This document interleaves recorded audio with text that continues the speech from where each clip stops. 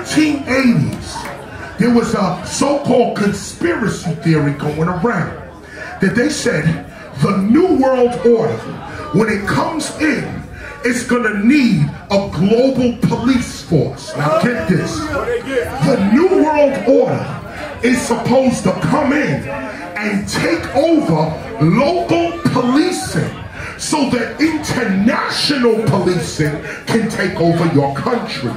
Now, what they were trying to do is raise the level of tension amongst the community and the police so that the community would scream out for the UN or some international body to come and save us.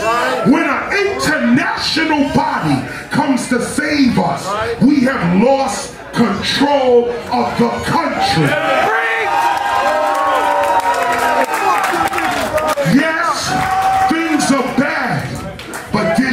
This shit is planned.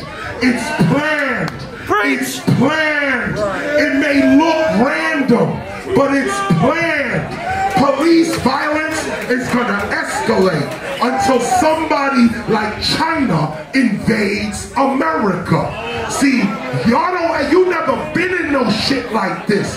When you see on the beaches of San Diego, warships coming from Saudi Arabia, and there's nothing you militia, you